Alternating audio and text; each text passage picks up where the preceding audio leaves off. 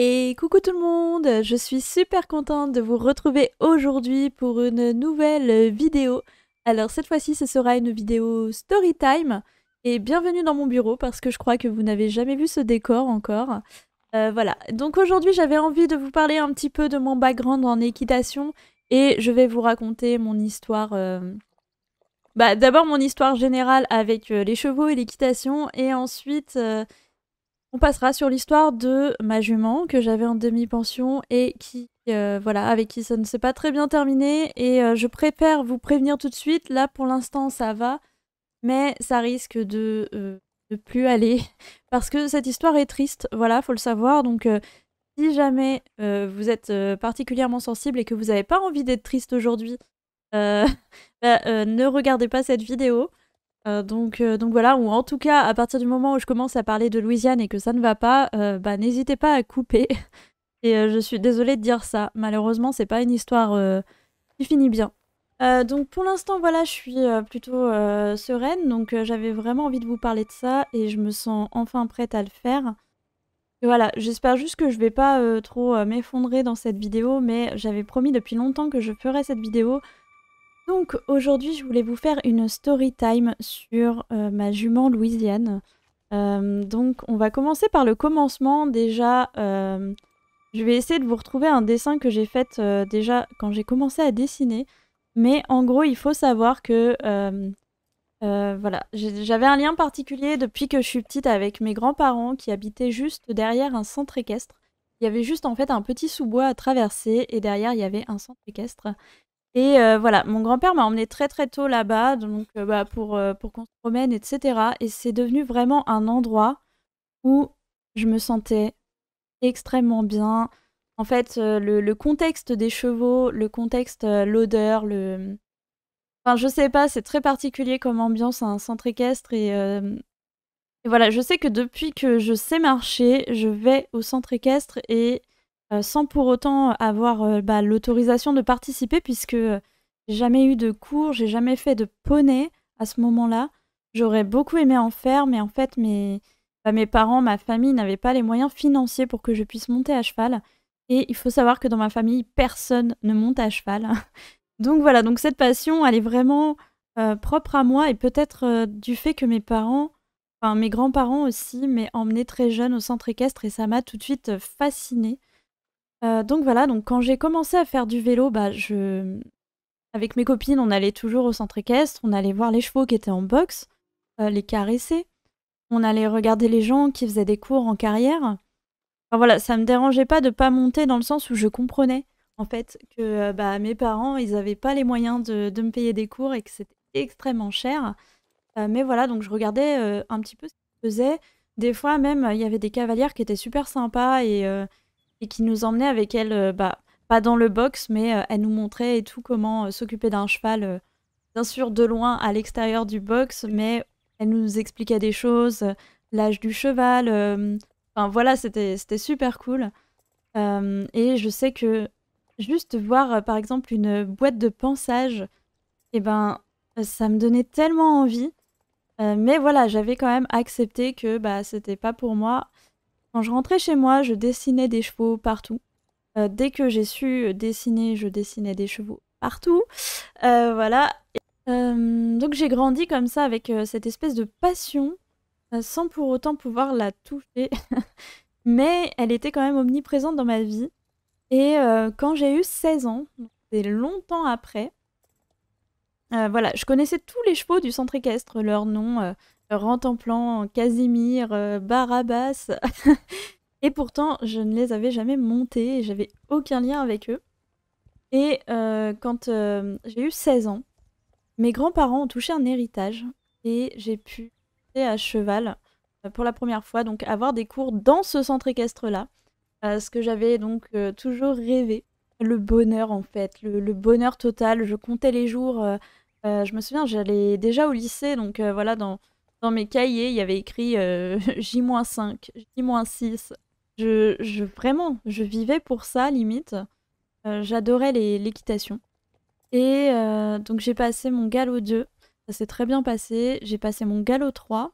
Donc, et forcément, quand vous êtes passionné par l'équitation, par les chevaux surtout, vous apprenez très très vite. Donc, donc tout ce qui était théorie, bah, je l'ai torché en deux secondes en fait. De la même façon, j'ai eu mon galop 3 haut la main. Et à partir de ce moment, voilà, j'avais plus trop les moyens financiers, donc j'économisais mon anniversaire et Noël pour pouvoir continuer de me payer des cours. Sauf que euh, bah, j'ai arrêté à ce moment-là de passer euh, des galops parce que c'était trop cher. Et, euh, donc voilà, donc là je suis à un moment où je vais commencer à stagner dans mon niveau d'équitation par manque de moyens de pouvoir passer des galops. Et, mais ça me gênait pas parce que l'important pour moi c'était de monter à cheval en fait. C'était le contact avec les chevaux. Et d'ailleurs, je me souviens qu'il y avait des filles qui venaient, qui se rendaient pas compte de la chance qu'elles avaient, je crois, et qui ne supportaient pas, par exemple, de faire le pansage et tout. Alors que, mais ça, c'est quelque chose que j'arrivais pas à comprendre. Genre, ton cheval euh, vient pas juste pour monter un cheval, en fait. Enfin, c'était trop bizarre. Enfin, les filles, elles voulaient pas brosser le cheval. Elles disaient, ouais, moi, je veux juste aller galoper, machin. Euh, ça, j'avais beaucoup de mal à comprendre. Il faut savoir aussi que j'évoluais vite parce que, euh, bah, au-delà du fait que je prenais des cours, en fait, j'allais voir les cours des galops euh, plus haut que les miens et j'apprenais, en fait, j'étais vraiment ouf. J'avais envie, en fait, de, bah, de tout savoir, de, de tout faire, etc. enfin bref, voilà, et vient le moment où j'ai dû arrêter de monter parce que c'était un peu cher. Et puis j'ai un ami qui montait à cheval à cet endroit-là et qui a changé de club. Il m'a dit Ouais, Christelle, euh, tu, euh, tu serais pas intéressée pour avoir un cheval en demi-pension? Bah, si, franchement, ça m'intéresse de ouf et tout. Mais euh, j'ai pas les moyens. Il me fait Non, mais t'inquiète, ça coûte pas cher, c'est genre 75 euros par mois. franchement, si tu te trouves un taf, tu, peux, tu peux facilement, tu peux facilement payer la, demi-pension et tout. Et puis, bah, tu montes genre une à deux fois par semaine, totalement libre, etc. Et en fait, euh, bah, cette demi-pension, c'était une nana qui a ouvert une association euh, un peu style euh, centre équestre dans son jardin. Voilà, elle a construit plein de box en tôle, elle a construit elle-même une carrière, elle avait des prés, etc. Et son voisin était maquignon. Donc voilà, il lui refilait des chevaux un peu. Soit qui n'étaient pas vendables, qui avaient des problèmes ou je ne sais quoi, soit il lui faisait des bons prix. Mais en tout cas, voilà, il y avait une, une magouille derrière. Et euh, bah moi, euh, l'idée d'avoir un cheval euh, presque à moi, en fait, de pouvoir le monter quand je veux, c'était le rêve, tu vois, la liberté avec un cheval, c'est... Voilà, donc j'ai dit à mon père, ouais, ça serait cool hein, si je travaillais et que je pouvais me payer ça. Et là, il m'a dit un truc qui a changé ma vie. Il a dit, il faut arrêter de le dire, il faut le faire. Et donc là, bam, je suis allée à la supérette du coin. Genre, c'était un, un, attaque à l'époque, maintenant ça s'appelle Simply Market. Et genre, euh, voilà, j'ai posé mon CV. J'ai dit je voudrais un contrat étudiant pour travailler le week-end puisque bah, la semaine je vais en cours. Et dans ma tête, j'avais pas fait le calcul genre, tu vas en cours la semaine et le week-end, tu vas travailler. Quand est-ce que tu vas monter à cheval après? Mais moi, dans ma tête, j'étais euh, argent, argent. J'ai besoin d'argent pour accomplir mon rêve en fait. Donc, euh, bah voilà, donc là, j'ai été prise. J'ai été prise pour le poste et voilà, j'ai commencé à faire euh, caissière. C'était mon premier boulot et euh, c'était, comment dire, c'était mon premier boulot et voilà, ça m'a semblé bah, très facile et bah, j'ai gagné mon premier salaire. donc le premier était très très bas, on va dire, mais voilà, je me rappelle de la première chose que j'ai acheté avec mon premier salaire, c'était un sèche-cheveux. Parce qu'en fait, j'ai les cheveux un peu, euh, un peu bouclés, un peu chiants. Et la, chose que je voulais le plus, c'était pouvoir faire des brushings. Et avec un sèche-cheveux classique, en tout cas à l'époque, euh, c'était pas possible. Donc j'ai acheté un sèche-cheveux professionnel, voilà. Euh, il m'a coûté 60 euros. et ma première paye était de 65 euros et je, je m'en rappellerai toute ma vie. Et puis ensuite, eh bien, j'ai eu ma deuxième paye et là, je me suis dit, hop, allez, c'est parti, on va on va voir mon pote et puis euh, on va prendre un cheval. Donc on m'a présenté des chevaux et tout. Et euh, j'ai pris une demi-pension sur un cheval qui s'appelait Yakari, qui était un Appaloosa, euh, qu'on avait surnommé le dromadaire parce que quand il marchait, c'était vraiment... Je sais pas comment expliquer, mais on était vraiment ballottés en fait. Et moi j'adorais cette sensation de, de, ballottement, rien qu'au pas. par contre, c'était un cheval qui trébuchait beaucoup. Et donc, donc voilà, donc là c'est la première fois que je vais faire l'expérience de, de la, demi-pension. Euh, je vais pas dire que ça s'est bien passé parce que bah, vu qu'il n'y avait pas de cadre, et quand t'es galop 3, que t'as un cheval à t'occuper, euh, que t'as pas de palefrenier parce qu'il faisait pas son taf, ce qui fait que je me retrouvais à... Et c'était le cas de tout le monde hein, dans les écuries. En gros, euh, voilà, imaginez, J'étais en première, je devais travailler pour mon bac la semaine. Le week-end, j'allais travailler euh, à la caisse, donc j'étais épuisée. Et le dimanche après-midi, je prenais mon vélo, je faisais 45 minutes de vélo pour aller au centre équestre. Enfin, au centre équestre. Au centre équestre. Aux écuries, on va dire. Euh. J'arrivais, le box de mon cheval était rempli de merde. Son abreuvoir était rempli de merde. Lui, il était dégueulasse. Et à ce moment-là, j'avais du mal à me rendre compte de la gravité de la situation. Mais euh, je devais euh, donc aller chercher une brouette, aller chercher une pelle, mettre tout le fumier. Parce que c'était même plus de la paille en fait, c'était vraiment de la merde. En fait, comme les abreuvoirs c'était des gros tonneaux, et ben des fois euh, ça arrivait qu'ils fassent caca dedans. Et je vous dis pas un tonneau de je sais pas combien de litres, je pense qu'il y avait au moins 60 litres dedans. Il fallait sortir en, tournant pour le vider, pour le re-remplir, etc. Euh, faire deux allers-retours avec des brouettes pleines de fumier, aller jusqu'en haut du fumier, tout vider. Euh, le fait est que une fois que j'avais fait tout ça, et bah j'avais plus qu'à reprendre mon vélo et à rentrer chez moi. Et je vous dis que mon cheval, en fait, je le montais jamais. Voilà. J'ai dû le monter deux, trois fois. Bref, c'était pas du tout le rêve. Mais je passais ces anecdotes parce qu'après, j'ai très vite arrêté pour euh, obtenir mon bac. Parce que sinon, euh, j'étais en train de, m'effondrer. Je faisais trop de choses, en fait. Et ma prof principale m'a dit Christelle, là, ça va pas. Faut que tu arrêtes ton boulot faut que t'arrêtes, faut que tu te consacres à tes études parce que sinon, tu vas droit dans le mur, en fait. Donc, euh, bah, j'ai décidé de l'écouter. J'ai décidé de l'écouter parce que. Euh, parce que j'étais épuisée. J'étais déjà épuisée. J'avais 18 ans, j'étais épuisée. Voilà, c'était super. Euh, donc, j'ai passé mon bac, je l'ai eu avec une mention bien.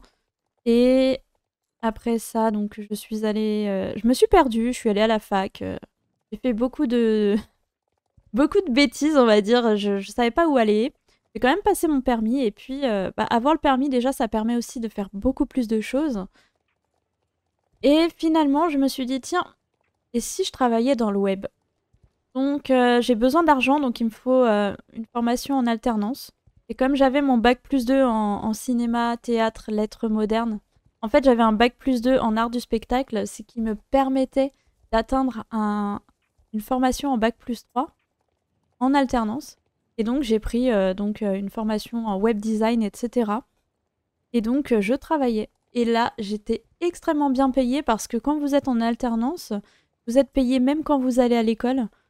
Et vous êtes payé, vous n'avez pas d'impôt. en alternance, on n'a pas. En, en apprentissage, on n'a pas d'impôt. Vous n'avez pas de charge, ce qui fait que votre salaire brut, c'est votre salaire net. Euh, donc à ce moment-là, je touchais 1100 euros pour aller à l'école. 1100 euros par mois. Autant vous dire que euh, j'avais les moyens de reprendre une demi-pension et en plus, je ne travaillais pas le week-end en fait. Et en plus, nouveauté, j'avais une voiture. Donc je commence à chercher, etc. Et je me souviens, j'étais avec mon copain, donc euh, qui est toujours le même, hein, qui est le père de ma fille maintenant. Et je lui dis, ouais, il y a un centre équestre à côté de chez toi et j'aimerais bien y faire un tour. Donc on y va ensemble avec ma petite voiture euh, qui était prête à, partir en fumée d'ailleurs, je me souviens. Euh, et puis, euh, et puis j'arrive et du coup je suis accueillie par, un, par le directeur des écuries, enfin le, le patron quoi. Le mec, déjà, il avait l'air tellement sympa. voilà, ça sentait qu'il avait un peu le sang chaud et tout, qu'il fallait pas le faire chier, mais putain, qu'est-ce qu'il était sympa. Et donc, il me présente la jument, Louisiane, et il me dit Cette jument, Franchement, c'est une très bonne patte. Elle est très gentille, très volontaire. Elle a, euh, elle a 14 ans, je crois qu'elle avait 14 ans à l'époque. Euh, vraiment, elle te fera pas, elle a pas de vis, elle te fera pas de coups fourrés, machin et tout. Tu peux la prendre en pleine confiance et par rapport à ton profil, parce que à ce moment-là, ça faisait déjà euh, au moins 10 ans presque que j'avais pas monté à cheval, que j'étais pas remontée à cheval. Et donc, il me dit non, cette jument, il y a aucun souci.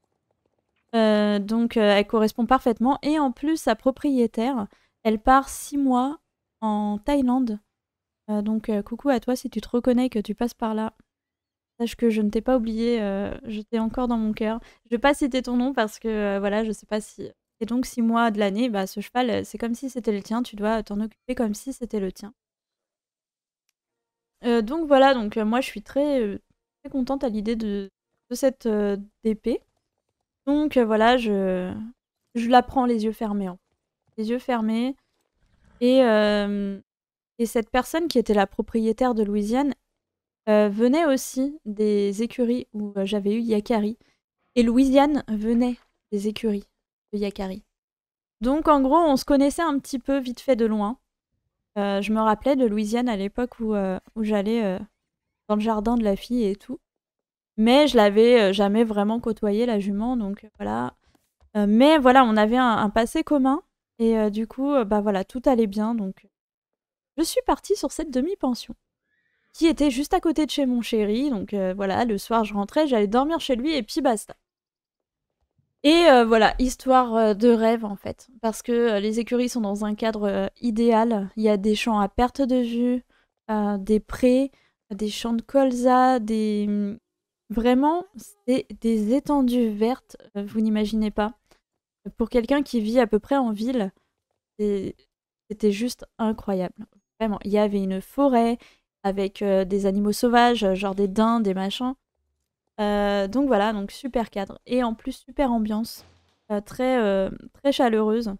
C'était pas l'ambiance, vous voyez, un peu... je monte à cheval, je me la raconte. Bon, après, il y a toujours des gens comme ça, mais c'était des gens qui, étaient, qui avaient un bon fond et ça se voyait. donc voilà, donc là, c'était très bonne ambiance. J'avais ma jument Louisiane en stabulation. J'ai appris à la connaître. Euh, des fois, je venais euh, pas seulement pour la montée. Il faut savoir aussi que j'ai repris des cours. Donc, j'avais mes cours avec Louisiane euh, tous les samedis. Et je, me suis prise d'amitié aussi avec certaines personnes, une en particulier. Il y avait aussi une jument en demi-pension. Et on montait toujours ensemble. Donc, quand je venais dans la semaine, elle venait avec moi, même quand on n'avait pas cours. Et on se faisait notre petit cours perso. Voilà, on révisait un petit peu le cours du samedi. Et puis, une fois qu'on avait fini, mettait pas trop la pression, mais on essayait de travailler sérieusement toutes les deux. Et une fois qu'on avait fini, bah, on sortait, on allait euh, faire une petite promenade avec nos chevaux, mais vraiment pas loin, euh, juste au pas, histoire de les détendre. On les laissait brouter, et puis nous, pendant ce temps, on discutait et tout, mais c'était franchement le rêve, euh, sachant que bah, pendant mes cours, je quittais assez tôt, en général, je finissais à 17h, donc bah, j'allais directement là-bas aux écuries et tout, c'était bah, j'avais aucune fatigue en fait, j'étais épanouie pleinement. Et voilà, et donc l'hiver est arrivé, euh, bah, je me suis occupée de Louisiane. Euh, des fois, j'y allais juste pour, euh, pour rester avec elle dans le box. S'il faisait trop moche, bah, je la pensais et puis après, asseyais, je regardais la pluie tomber. Enfin, c'était pas un box d'ailleurs, c'était une stabulation qui était à l'autre bout du pré, donc c'était isolé et en même temps c'était dehors et c'était trop bien. c'était très calme. Euh, et, voilà. Et la jument, euh, vraiment, je sentais qu'elle. Euh, bah, elle m'aimait bien. Et je m'en suis beaucoup rendu compte quand je suis partie deux semaines en vacances et que je suis revenue et que je l'ai appelée, qu'elle a relevé la tête et que ses oreilles étaient droit vers moi et ça m'a ça m'a tellement touchée parce que je me suis dit ouais en fait elle me reconnaît et puis voilà déjà oh Bref, donc une fois que j'ai eu mon diplôme, je me suis mise à chercher un CDI. Parce que voilà, je voyais tous mes potes qui avaient leur appart et ça me donnait très envie. Et donc bah, je me suis mise à chercher mon nouveau CDI. Sauf que, bah, vous savez, euh, généralement, il faut se déplacer vers Paris pour avoir du travail en région parisienne. C'est très très rare en fait de trouver du travail euh, proche de chez soi euh, quand on est en banlieue. Euh, mais ça peut arriver, mais c'est beaucoup plus difficile que d'aller à Paris. Et moi, j'avais besoin d'un travail parce que on avait un projet d'avoir un appartement avec, euh, avec mon copain. C'est vraiment quelque chose qu'on voulait, voilà. Donc voilà, donc là, on a cherché euh, un appartement et tout. Et moi, j'ai cherché surtout un travail. Je me suis dit, si j'ai ce travail, dans deux mois, on a enfin notre appart. Et à ce moment-là, j'ai trouvé un travail parfait qui me correspondait parfaitement. web designer, intégratrice web, etc. Premier emploi. Euh, j'avais besoin de ce CDI et euh, voilà. Sauf que c'était à deux heures de, transport de chez moi. Donc je vous laisse imaginer, euh, en terminant à 17h30, euh, tu reviens chez toi, euh, tu...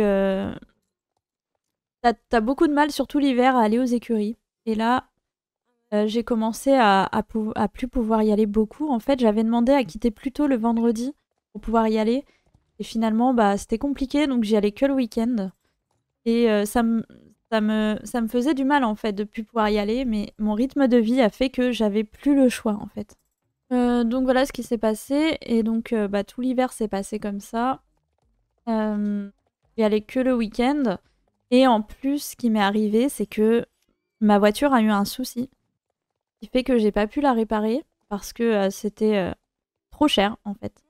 Et la seule chose qui me restait à faire c'était de la revendre. Et donc je l'ai revendue et j'ai racheté un vélo.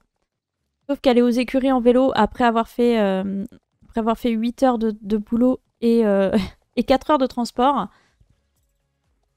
euh, faire un trajet de 1 heure en vélo, déjà t'arrives aux écuries, t'es mort.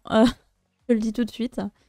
non, j'étais dans un état, j'avais beau. Je prenais, vous savez, les boissons rouges et bleues là, de, sportifs pour essayer de vraiment de tenir le coup en, en pensant que c'était de la potion magique. Mais en fait, je pouvais pas je pouvais plus tenir en fait. Je, je travaillais, donc c'était, euh, je sais plus quel mois. Que c'était au mois de janvier. Euh, je rentrais le soir euh, tard et tout, et puis je reçois un, message. Non, en fait, j'étais dans les transports, je me souviens, j'étais dans le, RER, e et je reçois un appel de, du directeur des écuries, et il me dit Christelle, Louisiane, ça va pas. Et je fais ah bon, comment ça, ça va pas et tout? Là, là j'ai le, le cœur qui, s'emballe un peu, tu vois. Il me fait euh, non, elle a, une colique et tout. Et le, le veto, il est assez alarmiste. Bon, après, tu sais, le veto, il est toujours alarmiste et tout. Mais euh, là, je la surveille et si jamais ça va vraiment pas, je vais l'emmener en clinique. Et là, j'étais en stress. J'ai fait ah d'accord et tout. Euh, je vais essayer de passer. je vais voir ce que je peux faire. Donc moi, je rentre chez moi, je, raconte ça à ma mère, j'étais un peu en panique. Et ma mère me dit Je t'emmène euh, aux écuries. Donc, du coup, elle m'a emmenée avec sa voiture. Donc, on arrive aux écuries et là, je vois Louisiane dans un état. Enfin, elle était debout et elle avait des espèces de tremblements et tout. Donc, voilà, j'essaie de la câliner et tout. Mais vous savez, les chevaux, en fait, comme c'est des proies, bah, quand ils vont mal, par instinct de survie, ils vont essayer de faire en sorte que ça se voit pas. Donc voilà, mais je voyais très bien sa tête, voilà, quand tu connais ton cheval, tu vois qu'il va pas bien et tout. Et là, essayé de la, bah, de la soutenir, qu'est-ce que tu voulais que je fasse? Elle était sous surveillance et tout, euh, prête à partir à la clinique. Et moi, j'étais là en mode, bah voilà, je peux lui faire un câlin, euh, essayer de la soutenir, lui parler, mais je peux rien faire de plus. Euh, le lendemain, je devais aller travailler, donc... bah, donc j'ai dû partir, j'ai quitté les écuries, il devait être genre 22h30, 23h ma mère, elle voulait rentrer aussi. Euh, donc là, j'étais très très mal. Euh, je me souviens que j'avais regardé un animé dans, mon lit et tout, euh, mais j'avais pas la tête à ça parce que j'étais j'étais pas bien en fait, j'arrivais pas à dormir et tout. Et bah au final, j'ai fini par m'endormir en me disant t'inquiète, ça va aller. Et au pire, voilà, ça va aller. Et puis là, je reçois un texto de, du directeur des écuries qui me dit j'emmène Louisiane en clinique, ça va pas. Donc là, euh, je me dis, bon, bah, au moins, elle va être entre de bonnes mains et tout, mais euh, j'étais tellement mal. Je, vraiment, je pouvais rien faire en plus. J'avais même pas de voiture. Ma mère, elle dormait, tout le monde dormait. Et, voilà, j'avais juste à attendre que, que, ça se passe. Et donc, du coup, je me suis dit, t'inquiète, ça va aller. C'est pas possible que ça, ça, se passe mal, tu vois. mais au fond, tu le sais, tu le sais, mais tu, tu peux pas faire autrement que d'espérer que ça se passe bien, en fait. Euh, donc, du coup, voilà. Et alors à ce moment-là, j'ai dû m'endormir et euh, en fait, j'ai été réveillée. je crois que ce réveil, il m'a marqué à vie et je l'oublierai jamais. J'ai été réveillée par un texto de euh, la propre, enfin non, oui, la proprio de, Louisiane. Il m'a dit, euh, en fait, vous savez quand vous recevez un texto, vous voyez en fait le début du message. C'est 6 heures du mat, c'est pas normal et vous le savez très bien. Donc je prends mon téléphone et là, je vois ce qui est écrit en fait. Je directement sur la notification. Je vois écrit un message de la proprio de Louisiane qui dit Christelle, Louisiane est morte dans la nuit. Et là. Donc là, en fait, j'ouvre quand même le truc pour lire jusqu'au bout. Et là, bah, je vois. Euh, je me rappelle même plus de la suite du message. Ce qui m'a marqué, c'est vraiment le début. En gros, elle m'explique que le vétérinaire, le temps qu'il l'ouvre, euh, enfin, qu'il l'opère, en fait, qu'il l'endorme et qu'il l'opère, euh, son intestin avait éclaté. Et que bah, tout le poison s'était euh, libéré dans. Donc voilà, à partir de ce moment, je sais que je reverrai plus jamais Louise. En fait, déjà, ce qui s'est passé, c'est que. Je. J'ai crié, en fait. J'ai hurlé. Et ma mère, euh, elle m'a entendu hurler. Et en fait, je, je sais pas, comme si j'avais essayé de fuir la situation, je suis. J'ai sorti de ma chambre. Mais en fait, ça m'a rattrapé d'un coup et je me suis écroulée par terre dans le, dans le couloir. La à la porte de ma chambre, en fait, je me suis écroulée en, en chialant Non, non, non, c'est pas possible.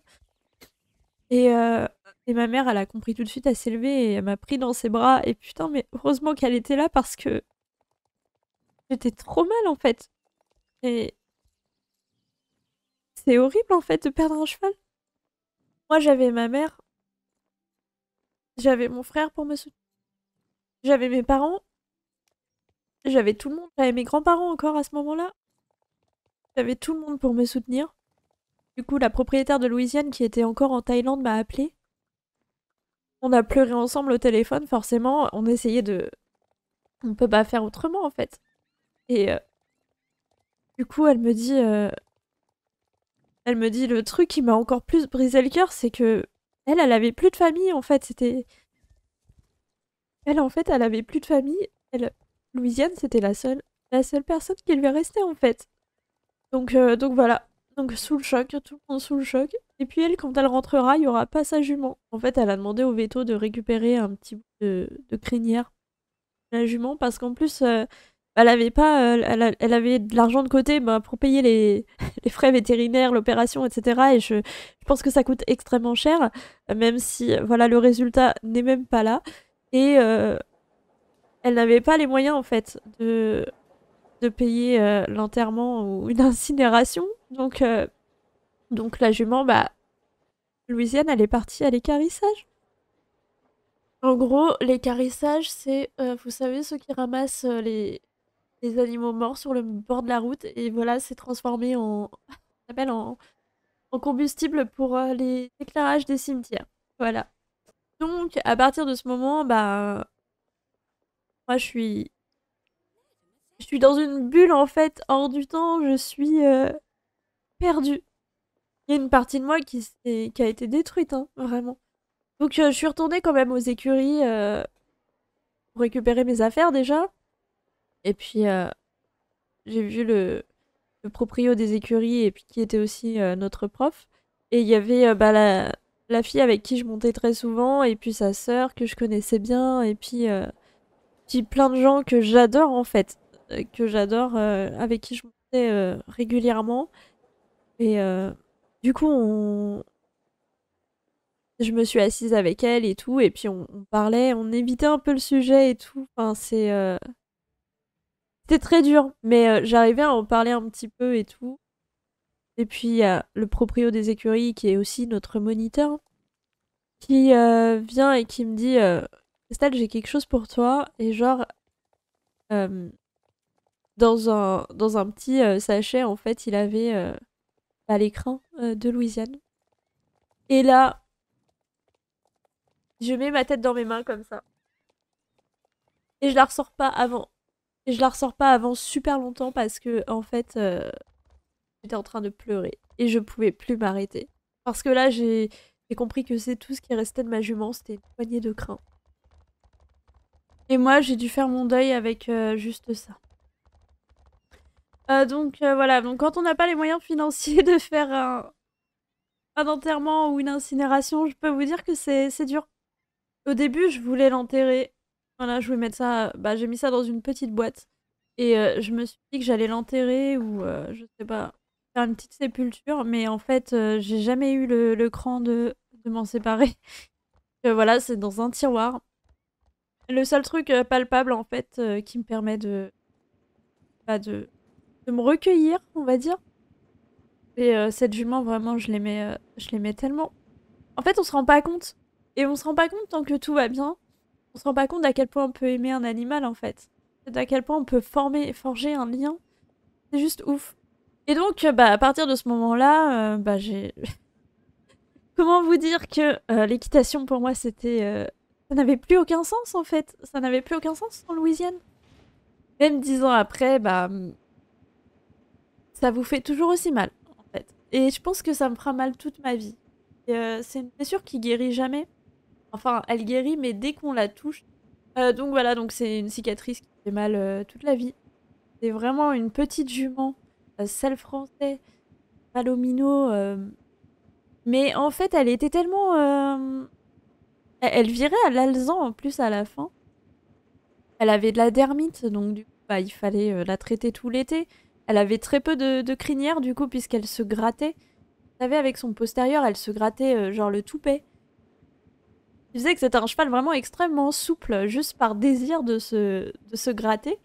ouais, non, c'est c'est vraiment un numéro. Et puis, euh, vous savez, c'est le genre de, cheval qui... qui ne fait jamais de refus, qui ne fait euh, jamais de bêtises, qui ne va pas vous embarquer. C'est le cheval parfait. Le cheval qui... Bon, ok, elle avait peur, mais peur, c'est pas de sa faute, en fait. Que, bah, quand on faisait une balade, des fois, elle faisait des petits écarts, mais... Euh, mais c'était pas grand-chose. Enfin, vraiment, c'était juste... En plus, elle était hyper prudente, donc elle allait pas m'embarquer à l'autre bout de la terre. C'était vraiment le temps qu'elle se rende compte de ce que c'est et qu'elle analyse, et après elle se calmait. Et c'était euh... amour en fait, cette jument. Et j'ai été très très blessée par ce qui s'est passé, j'ai été très... Euh, voilà, donc euh, du coup, bah moi j'ai suivi ma vie, écoutez, euh, j'ai pas repris l'équitation. J'ai pas oublié Louisiane. Je reprendrai peut-être. Là j'ai des, des, projets. Et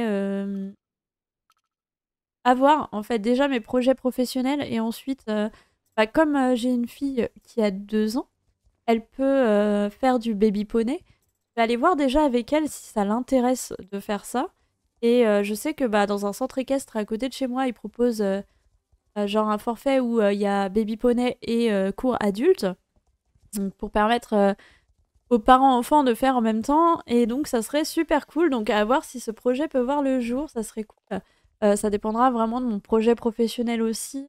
Euh, si euh, bah, les moyens financiers peuvent suivre aussi. Donc, donc voilà. mais c'est vrai que j'ai un peu de mal avec les centres équestres parce que j'ai un a priori qui est pas très bon parce que celui où j'allais, bah, même si c'est celui que j'ai connu quand j'étais petite, bah, il y avait beaucoup de chevaux qui avaient des problèmes psychologiques ou qui en avaient marre, etc. Donc j'ai beaucoup de mal à, avec, euh, je sais pas, monter plein de chevaux différents, ne pas créer un vrai lien, etc. Ce qui m'intéresse dans l'équitation, c'est vraiment le fait de créer un lien avec un animal. Et comme vous avez pu le voir, c'est à double tranchant en fait. Parce que plus le lien est fort et plus quand il se brise, ça fait mal. Même si, même si pour moi, euh, de toute façon, le lien ne se brise jamais. Et que euh, on continue à aimer en fait. Même quand la personne ou l'animal est mort, on continue à l'aimer de toute façon sentiment, ce qu'on a dans le cœur, ça change pas, ça changera jamais. Et que s'il y a quelque chose après, eh ben, on se retrouvera. Et ça, ça c'est clair. Y a quelque chose après, c'est sûr qu'on se retrouvera. Enfin, je veux dire, on s'aime trop. Enfin, moi, je l'aimais trop, c'est pas possible. Et si vous avez regardé mes histoires flippantes, vous savez ce qui s'est passé avec ça. Vous savez ce qui s'est passé suite au décès de Louisiane. Et je n'avais pas envie d'en parler là parce que, voilà, on n'est pas là pour parler de paranormal. Mais si ça vous intéresse, si la vie après la mort vous intéresse et les expériences un peu bizarres, un peu paranormales vous intéressent, bah, je vous invite à regarder la vidéo que j'ai faite des histoires flippantes à Halloween. Je sais plus comment s'appelle la vidéo, je vous mettrai le lien en description si vous voulez voir. Mais, mais voilà. Et eh bien voilà, c'était c'était une vidéo riche en émotions. je vois qu'elle a duré quand même pas mal de temps. J'espère que je vous ai pas trop déprimé. Donc voilà, donc là j'espère que je vous ai pas trop déprimé. Je sais que ça faisait longtemps que vous me demandiez, que vous étiez curieux de savoir ce qui s'était passé avec ma jument, etc. Et Ça fait partie de la vie, la mort fait partie de la vie, donc malheureusement, faut accepter. si vous aimez un cheval, si vous aimez quelqu'un, ou si vous aimez euh, un animal, dites-vous que euh, ce genre de choses peut arriver, et donc il faut en profiter un maximum tant que tant qu'on est encore en vie. Et euh, bien sûr, il faut pas, faut pas se voiler la face. Il y a toujours, ça arrive toujours en fait. Mais profitez un maximum. Profitez un maximum et, franchement, euh, essayez de, moins vous énerver pour des petites choses qui sont pas si importantes que ça parce qu'en fait, euh, le bonheur, on se rend pas compte forcément quand il est là. Bon, et bien sur ce, sur ce petit voyage temporel, euh, je vous propose qu'on arrête cette vidéo ici. En tout cas, je vous remercie beaucoup de l'avoir regardé. N'hésitez pas à la liker si vous l'avez aimé. En tout cas, c'était riche en émotions pour moi, je ne sais pas pour vous.